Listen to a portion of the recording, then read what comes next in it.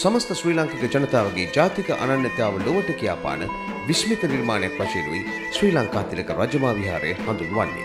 උඩුනුවර හියාරාපිටිය නම් ගමේ පිහිටි පැන්හල් ගල නම් පර්වතයෙහි මේ ලංකාතිලක විහාරය පිහිටා ඇත්තේ. ක්‍රිස්තුවර්ෂ 1944 දී ගම්පොළ හෙවත් ගංගසිරිපුර හතරවන බුවනිකබා රජුගේ අමාත්‍යවරයෙකු වූ සේනාධි ලංකාර ඇමතිවරයාගේ විහාර කර්මාන්තයක් ලෙසයි මෙය තවදුරටත් හැඳින්වෙන්නේ. මෙම විහාරස්ථානයේ සුවිශේෂත්වය වන්නේ බුදුන් වහන්සේ මෙන්ම හින්දු දෙවියන් පිදීම සඳහා තනන ලද ගෘහයක් තිබීමයි. විහාරස්ථානයේ පූජනීය අංග වශයෙන් ඉපැරණි ස්තූපය, බෝධිය, බණමඩුව ප්‍රධානයි. මේ විහාරය රැක ගැනීම වගකිව යුතු සියලු අංශවල යුතුයකමක්.